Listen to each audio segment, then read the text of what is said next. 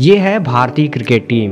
पाकिस्तान के ऊपर जीत के बाद आजकल भारतीय क्रिकेट टीम काफ़ी सुर्खियों में है। देश भर में भारतीय क्रिकेट टीम की काफ़ी चर्चाएँ हो रही हैं।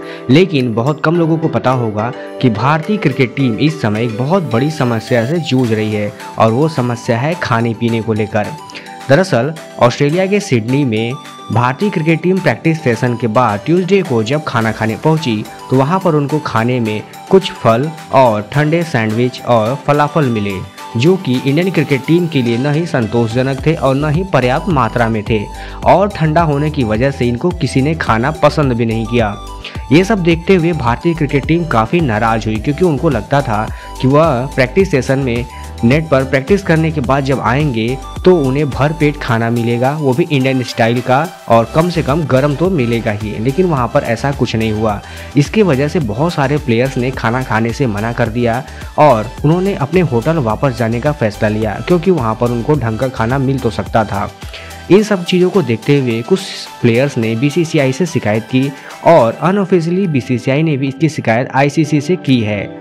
और लोग बताते हैं कि आईसीसी ने भी भरोसा दिलाया है कि आने वाले समय में इसको ठीक कर लिया जाएगा।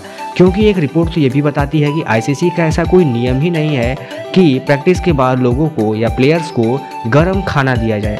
हालाँकि ये वेस्टर्न कंट्री के हिसाब से तो ठीक है, लेकिन इंडियन कंट्री के लोगों के हिसाब से ये बिल्कुल बात हजम नहीं होती, क्योंकि हमें इस तरह के खाना खाने की आदत बिल्कुल भी नहीं है।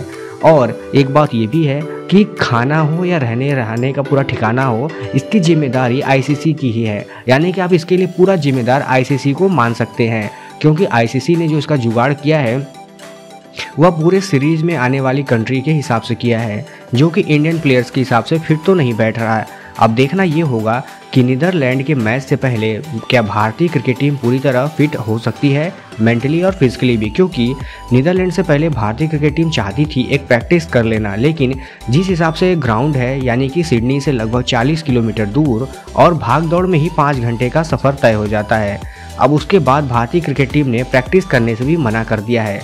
अब यानी कि बिना प्रैक्टिस किए इंडियन क्रिकेट टीम नीदरलैंड से खेलेगी और कैसा परफॉर्मेंस होगा वो तो समय ही बताएगा। फ़िलहाल खाने को लेकर बहुत बड़ी सिरदर्द है कि इसको जल्दी सॉर्ट आउट करा जाना चाहिए, क्योंकि बात तो सही है कि बिना खाए पिए प्लेयर्स कैसे खेलेंगे। आप इस बारे में क्या सोचते हैं, हमें ज़रूर बताइएगा।